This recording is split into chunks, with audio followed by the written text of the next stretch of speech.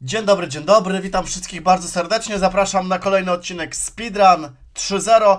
E, gram od rankingu 1000. Moim celem jest na pewno około 2400. E, komentuję swoje ruchy, swoje plany. No i e, korzystając z okazji, jeszcze na wstępie przypomnę o szachowych fundamentach. Właśnie otworzyłem zapisy do mojego autorskiego kursu, mega kursu, że tak powiem. Jest parę nowości. E, Wszystko możecie znaleźć na stronie. Podpinam link w opisie filmu i w komentarzu. E, przypomnę tylko, że do 1 marca, do 22 jest możliwość nabycia tego kursu. E, jeżeli ktoś ma jakieś pytania, piszcie śmiało. Em, I tyle w temacie. E, zapraszam serdecznie, lecimy. Szukam przeciwnika. Mój ranking 1200, 1186 ze strony przeciwnika. No i jest E4. Zagram D5, czyli obronę skandynawską. A, niech będzie. E, prawdopodobnie zostanie pionek zbity. E, skandynawska czasami właśnie działa na zawodników e, o, o tym rankingu, który tutaj właśnie jest u mojego przeciwnika. Wszystko zostało wymienione. Ja myślę, że już teraz czarne nie mają żadnych problemów, jeżeli skoczek został wymieniony. Oj, oj, oj, oj, oj, ten pionek tutaj robi robotę, moi drodzy. Szach i bijemy wieżę. Więc podstawka, ale ja się nie naśmiewam absolutnie, tylko pokazuję, że jednak zawodnicy na tym poziomie robią czasami bardzo proste błędy. To jest też celem tego speedruna, a na pewno nie znęcanie się e, tutaj nad zawodnikami, absolutnie. Zresztą e, osoby, które już oglądają, oglądały pierwszą część i drugą, wiedzą o co chodzi, więc, więc dobrze, że wiedzą, e, nie muszę się tutaj cały czas tłumaczyć z tego. Zresztą to, co robimy, to jest rzecz dobra, więc tylko się cieszyć. Mam nadzieję, że z tego skorzystacie e, pełną parą e, i wasz poziom się będzie poprawiał. Ważne jest, żeby właśnie szachy rozumieć, a nie e, klepać je na pamięć. No i teraz tak, przeciwnik może zagrać skoczek F3, zrobić roszadę, ale nie chcę. Mogę zbić pionka, ale nie chcę tego zrobić. Wracam hetmanem. Daję szacha. Powrót hetmanem z szachem jest zawsze dobrym pomysłem. Wziąłem sobie wieżę i e, będę się z tego cieszył. Więc skoczka wyprowadzam, e, wyprowadzam od razu gońca, planuję wybić. Oczywiście może być taki ruch, zgoda. Może nawet tak zagram. Dlaczego by nie? Mam na to dużo przestrzeni, dużo czasu. Próbuję wymienić gońca. Wieża więcej to jest oczywiście bardzo dużo. Za chwilę robię długą roszadę, wyprowadzę gońca z F8. To są dobre nawyki, ale przeciwnik niestety podstawia, e, więc z tego szybko będziemy korzystać. Widzę, że kolejna podstawka em, masakra. No ale tak, e, tak właśnie czasami bywa, że komuś się już nie chce po prostu grać. E, Zagramy, zagramy sobie, słuchajcie, B3. Ostatnio Robert Fischer em, grał, znaczy ostatnio, w 70 roku e, w ten sposób. E, mówię, że ostatnio analizowałem, analizowałem tę partię. E, też podepnę link z e, webinaru, który przeprowadziłem i słuchajcie, e, dokładnie tak samo gra przeciwnik, to jest ciekawe. A3 z planem B4, może potem C5, jeżeli goniec pójdzie na B6. No D6 e, broni tego, hetman C2 i tak samo grał Fischer, moi drodzy. Ten sam zestaw ruchów, Ok, tutaj planuję tak, może być E4, może być, może nie musi. Aha, przecież D3.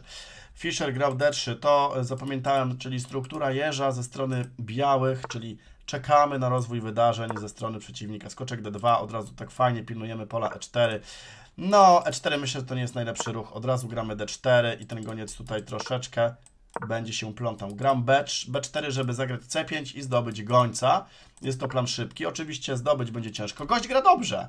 Gość gra bardzo fajnie, bardzo dobrze. Wyprowadzam skoczka, to jest ważne. Ten skoczek może czasami wejść i tutaj, i tutaj. Może zagram H4, a może i nie. Pytanie teraz jest takie, czy wybić, czy przepchać, czy zostawić. Zostawiam. Otwieram gońca, ale też mogę wybić skoczkiem na C4, co pewnie uczynię za moment. Myślę, że skoczkiem, myślę, że skoczkiem, żeby atakować gońca. Yy, Nie od razu oczywiście muszę zbijać tego gońca, ale jak zbiję, to też będzie fajnie, bo jakby pionek wybił, to miałbym tutaj 5 pionków kontra 4 pionki na skrzydle. Na takie rzeczy też warto zwracać czasami uwagę. Goniec E2, po takim ruchu zawsze mam tutaj, ewentualnie mogę zagrać tu. Słuchajcie, jakbym nie słyszał. Jeszcze się zastanawiam nad ruchem wtrąconym, bo skoczek i goniec będą pilnować pole E5, e, tylko tak, tak zrobimy. Zagramy od razu ostro. Jeżeli będzie bicie tutaj, to zbijamy tu. Nie liczymy się z pionkami, tylko...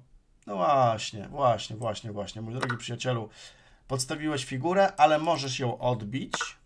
Też tak się dzieje. Odbijam gońcem. Pionek więcej, stabilna pozycja. Tutaj mogłeś zbić pionka. Tutaj mogłeś zbić pionkę. Gość gra bardzo szybko. E, kolejny ruch wtrącony, D6. Po wybiciu zbijamy tutaj i atakujemy. Ale gra szybko, słuchajcie. Właśnie czasami jak ktoś gra szybko i dobrze, na samym początku takie dobre wrażenie przeciwnik sprawił, e, to wydaje się, że wszystko gra i gość wszystko widzi. Ale zobaczcie, on gra cały czas szybko. E, nawet się nie zastanowił chwili. Gramy tak oczywiście. Król pójdzie pewnie na E8, skoczek G7 i po ptokach. Okej. Okay. Mamy to, lecimy dalej. 1216. Mamy polskiego zawodnika. Witam Olka do 3219. E4. Zapraszam serdecznie yy, i myślę, że po prostu skoczek F3. Zagramy partię szkocką, ewentualnie gambit szkocki. Gambity y, trzeba grać, czyli goniec C4. Tutaj oczywiście może zagrać goniec. Bardzo dobry ruch.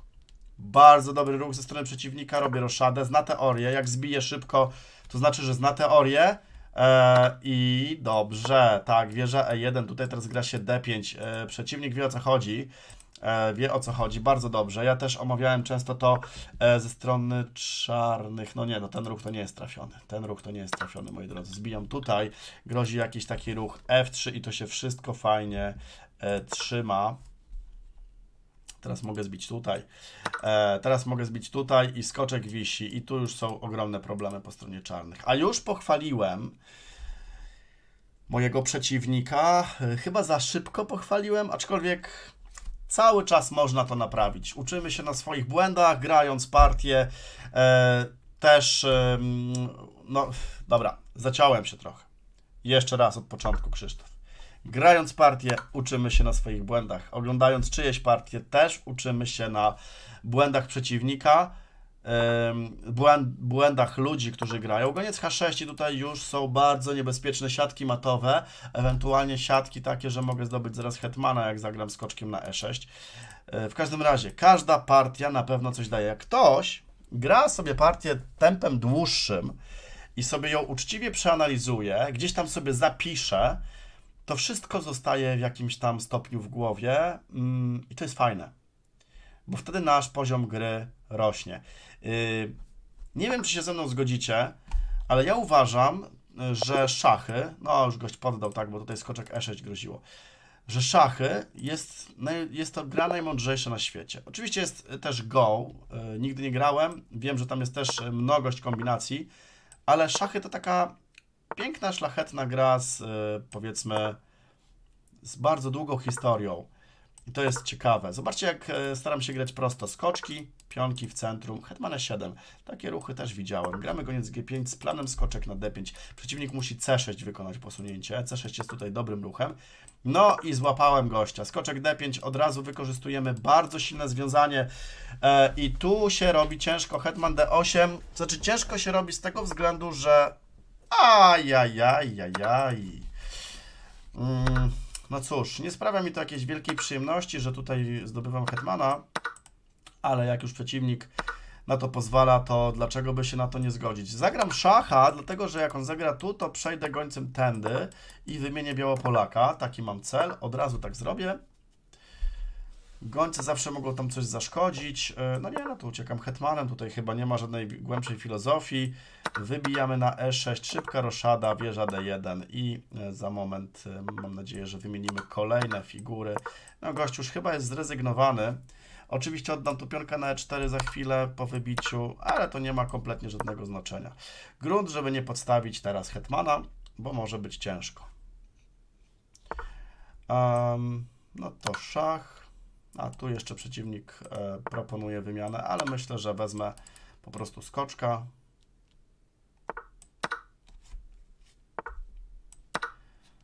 No i tutaj myślę, że jest po prostu ciężko. Ok, lecimy dalej. E4. E4, a może ruch E5?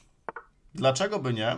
Gambit słonia. Często też grywałem to posunięcie. Ciekawe, czy się gość pogubi po tym posunięciu. Tak troszeczkę z fantazją. E, nie mówię, że to jest dobre teraz, co gram, e, moi drodzy. Tutaj prawdopodobnie trzeba odbić hetmanem, ale próbuję e, zrobić zawirowania. Pilnuję na razie pionka. Taki ruch prawdopodobnie jest dobry i będę musiał zagrać tutaj skoczek, goniec, no i tu jakieś rzeczy się dzieją. Bardzo dobra reakcja mojego przeciwnika. Gram tak, jeżeli tutaj to goniec na b4, jeżeli zbija, to po prostu wybije wszystko do końca. Pozycja się bardzo wyrówna, ale przynajmniej nie będzie moja gorsza, bo y, tak zagrałem jakby była. E, I teraz y, goniec odbije, tutaj będzie groziło, szybka roszada grozi wzięcie tutaj. Najlepszą odpowiedzią według mnie jest zbicie tu, hetman i potem odbicie tu. On w złej kolejności to zrobił, dlatego że bije skoczka. E, I w tym momencie zdobywam figurę. No i tak niestety taktycznie czasami bywa bo gość ma atakowanego hetmana, więc jest ciężko. Chyba, że tak, ale to wtedy bije, bije i wieża E8 i nadal zdobywam figurę, bo zawsze mam podparcie tym pionkiem. On tu próbuje chyba coś mnie zaatakować, żeby dać jakiegoś mata, ale to nie będzie takie proste, panie kolego, bo mam hetman e, E5 i wymieniam hetmany na siłę, e, co jest dobrym ruchem. Oczywiście wieża G1 może dać szacha, tu można się bać, ale nie ma czego. Hetman tutaj się zostanie wymieniony i wszystko gra. No więc w tej sytuacji mm, powinno być dobrze. No wymienię te hetmany. Nie będziemy się tutaj szczypać. Wyprowadzka szyb, szybko figury. Oczywiście jak mamy figurę więcej, to nie znaczy, że możemy spocząć, spocząć na laurach. Trzeba, trzeba nadal kombinować. Wieża E8, trochę swobody dla wieży. Y, też można się trochę za bardzo rozluźnić i to może być zgubne, moi drodzy. Gramy tak. Y, tutaj prawdopodobnie zagra ruch E5. Wtedy wyprowadzę gońca. Będę chciał go wstawić tu. Wprowadzić wieżę, zagrać królem na F8, jeżeli nastąpi szach nie nastąpił, to wymieniamy. Wymieniamy, jeżeli możemy i F5 cały czas. Oczywiście czekam na bicie. Teraz e, pionki są już stabilne, nie ma się co obawiać szturmu pionków żadnych. Wszystko działa, goniec E6, oczywiście jeden szach tutaj nie jest groźny, zawsze która z królem idę na F7.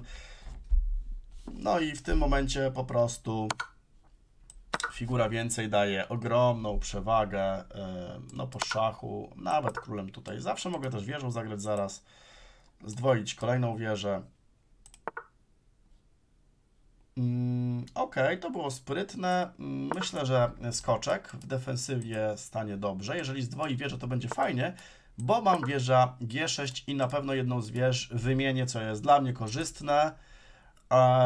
No i cóż, upraszczać pozycję w takich, w takich sytuacjach, gdzie mamy więcej materiału. To jest najlepsza e, według mnie zasada, zresztą też prosta. Tutaj wymieniamy, wieża G8. Jeżeli H4, to nawet H6 mogę spróbować rozbić te pozycje. E, prawdopodobnie H4, no to H6, jeżeli ją zbije, to gram wieża H8 i te pionki będą już pod moim ostrzałem. Więc chwilowy taki zabieg kosmetyczny. To też jest fajne powiedzonko, zabieg kosmetyczny, moi drodzy, w szachach, czyli e, chwilowo, mm, nie wiem, czy się narażę teraz, czy, czy źle coś powiem, ale chwilowo się oszpecimy, no nawet zrobieniem paznokci, ja się na tym nie znam, ale najpierw chyba tam się zdziera coś z paznokci, jakiś lakier, żeby potem nałożyć ładny lakier, to panie pewnie wiedzą, e, no to e, najpierw właśnie gramy tak brzydko tym pionkiem, żeby on nam tego pionka wziął, a potem to fajnie wszystko wyrównujemy e, i wszystko pięknie świeci i błyszczy, więc takie zabiegi kosmetyczne są w szachach bardzo przyjemne. Podchodzę królem, oczywiście mogę też zagrać tutaj, mam dużo dobrych posunięć, myślę, że że może nawet skoczkiem. Dlaczego by nie? Po prostu chcę wziąć tego pionka i pionek F robi karierę. Nie ma to chyba już większego znaczenia. Zawsze te pionki obronię, choć nie muszę. Mm, tu się trzyma.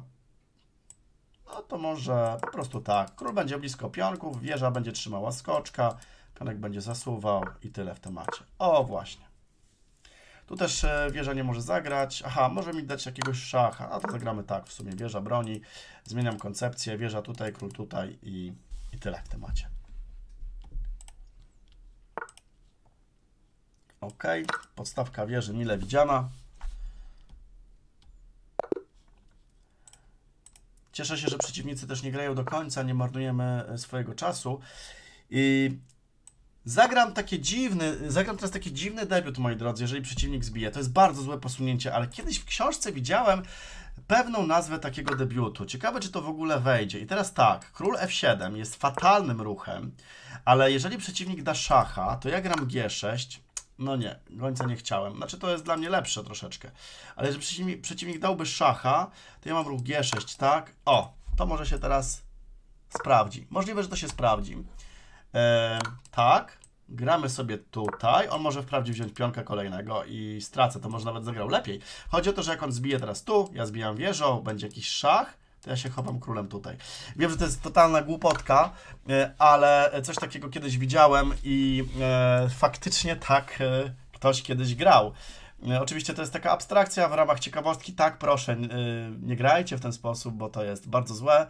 Y, ale chciałem tylko tak na marginesie to pokazać. No w tym wypadku, e, ojejku, przeciwnik tutaj oddaje mi figury, e, czyli się, tak, że tak powiem, sam pogubił chyba w tej sytuacji, choć miał bardzo dobrze. No, wyprowadzam szybko skoczkę, oczywiście zajmuje pola w centrum, za chwilę odbije pionka, król już ma roszadę zrobioną na raty, więc wszystko działa.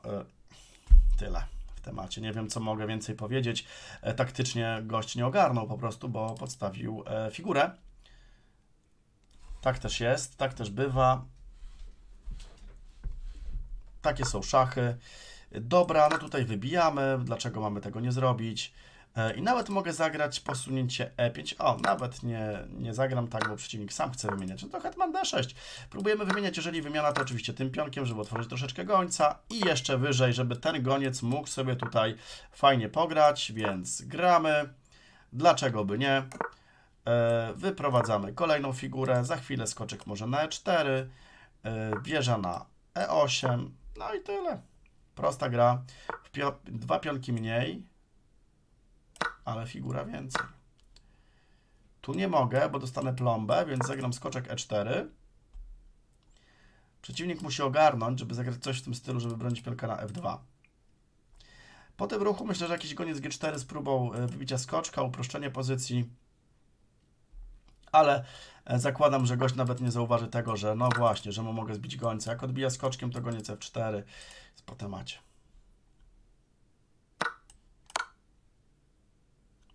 Zastanawiam się, czy... Y, a, tutaj to już nie, to zbijam. No nie, no przeciwniku mój drogi, za szybko. Oczywiście wcześniej pole E7 było wolne, teraz już nie jest.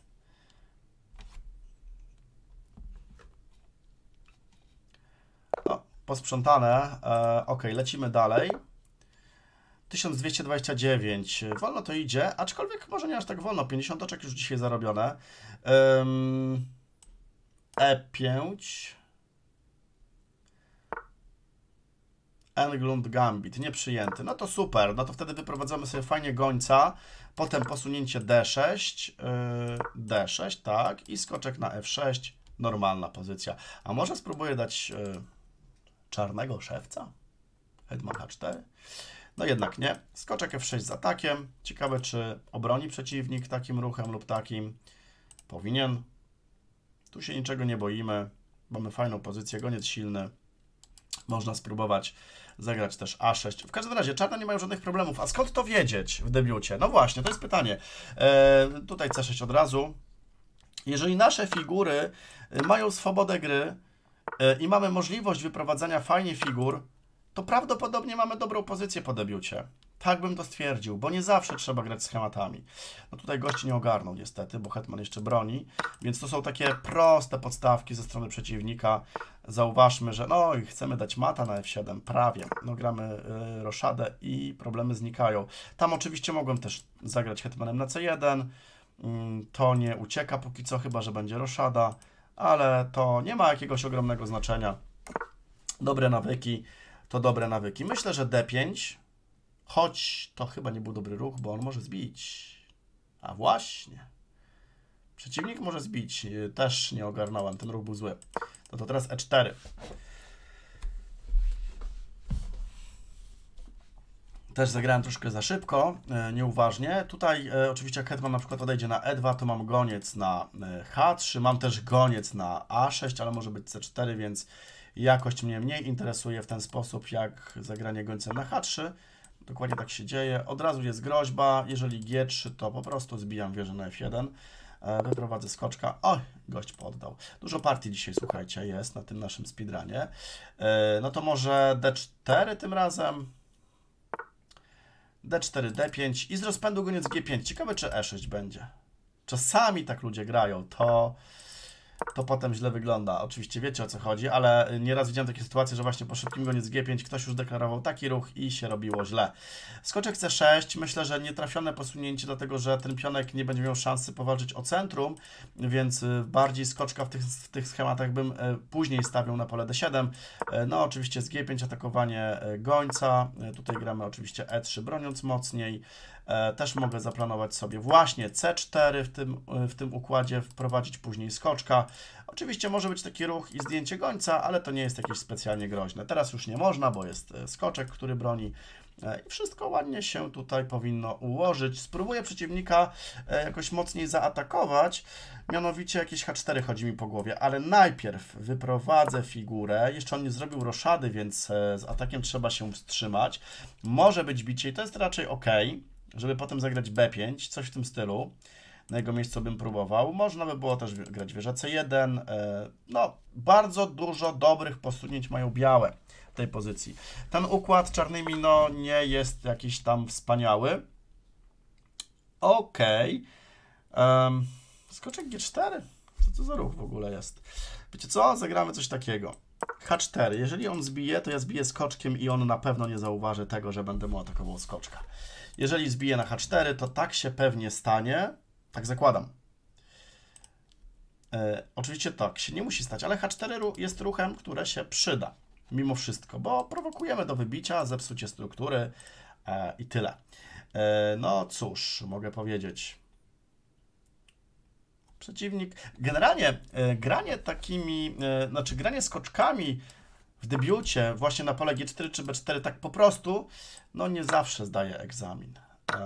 A tutaj to wybijam, e, on musi wybić hetmanem, ok, zaatakujemy go szybko i on będzie musiał, będzie musiał gdzieś tam sobie odejść i potem zbijam na D5, tutaj wybiję pionek, tam będzie wisiał na C7. E, Roszadę nie muszę robić. Po co? w tym układzie po prostu atakujemy. Oczywiście e, dobrym nawykiem jest zrobienie roszady, ale w tej sytuacji chyba jest wszystko pod kontrolą. Znaczy na pewno jest wszystko pod kontrolą.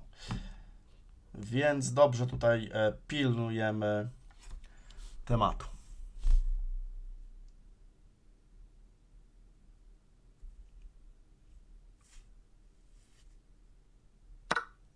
O, to ciekawe. Wezmę po prostu skoczka. Nie wiem, co mu to dało, ale okej. Okay. Figurę oddał. Pewnie się pomylił. Dobra, i zbijamy tutaj. E5 się nie boję, bo po prostu zbijam. Nic się nie dzieje. Znaczy, jak tutaj zagra, no to nawet się zastanowię nad biciem skoczka, e, albo nawet skoczek E4. Jest bardzo dużo e, ciekawej gry, ciekawych możliwości taktycznych. No, w każdym razie, już się powtarzam troszeczkę, ale e, jest e, figura więcej, więc to jest bardzo dużo i nie musimy się tutaj naprawdę z niczym śpieszyć. Ok, damy szacha, zdobywamy skoczka. Prosty układ, taki taktyczny, często spotykany właśnie też w gambicie hetmańskim. Tak jak już mówiłem, te skoczki, jak wyjdą na B4 czy na G4, mogą być szybko stracone i to się sprawdziło teraz w tym wypadku. Przeciwnik nawet roszady nie może zrobić, chociaż ona tak naprawdę nic nie daje dobrego, bo tam wieża potem patrzy na H3, na H6. No i cóż mogę powiedzieć? E, dwie figury więcej. No tak to jest. Ok, e, no to na B7 kosimy. Jakiś skoczek może wejść, potem może tutaj. O, nawet tak. No to tak jak już mówiłem, zbijam na H6. E, goniec broni, wchodzi za chwilę wieża i tam już są ataki matowe. Robi się ciężko. Nawet w ten sposób. No dobra, zbijam. Przeciwnik zbija. Tutaj może być szach. To jest niegroźna sprawa. Gram wieżą. Chcę dać mu mata. Chcę mu dać, e, chcę mu zasadzić siatkę matową. Zagrać gońcem. E, i dać fajnego mata z kombinacją. Jeżeli się to uda, to będzie ładnie to wyglądało. Mianowicie goniec E7, poświęcenie wieży, jeżeli król zbija, to coś takiego z podwójnym szachem. Zobaczymy, czy to, czy to się uda.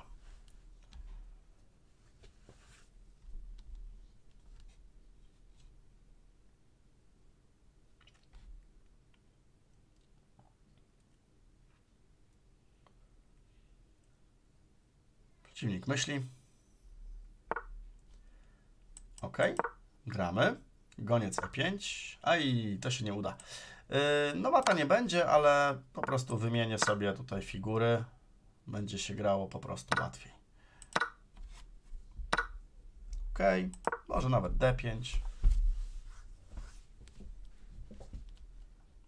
Założę się, że teraz wieża będzie chciała wrócić na B2, tu goniec będzie patrzył, bo jak odejdzie goniec E6, to sobie zagram skoczkiem na E4. I, go, I się na pewno tutaj wieża rozpędzi, zaraz zagra na B2. Bo tak czasami można przeoczyć. Ale przeciwnik oczywiście może to dostrzec, więc to było tylko moje przypuszczenie. No, byłem blisko. Mm, wymiana? To wymiana. No i będziemy atakować pionki. Tutaj ruchy myślę, że bardzo proste można robić. Wtrąconka jakieś można wrzucać. Różnego rodzaju rzeczy. E, nawet oddam tego, tego skoczka, bo e, nie ma to już tak naprawdę znaczenia większego. Po prostu podchodzę, tutaj biję kolejne pionki e, i atakuję króla. O, zbijam. Zaraz zagram tak. Albo król d4 na przykład można było też wrzucić. No w każdym razie tu już myślę, że komentarz jest zbędny. Każdy z nas by sobie poradził w tej pozycji. Grunt, żeby nie dać pata.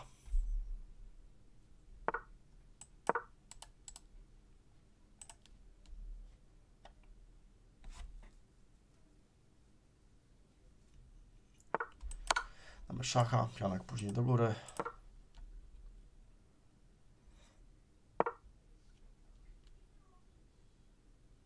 Potem E5.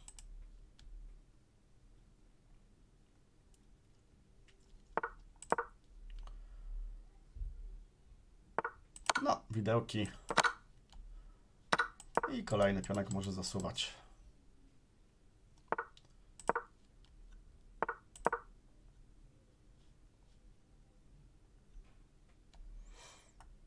Tutaj, tutaj.